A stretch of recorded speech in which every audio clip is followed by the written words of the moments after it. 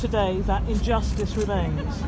The struggle on behalf of those beleaguered women whose stories saddened the judges, but for whom this judgment provided no relief, will continue.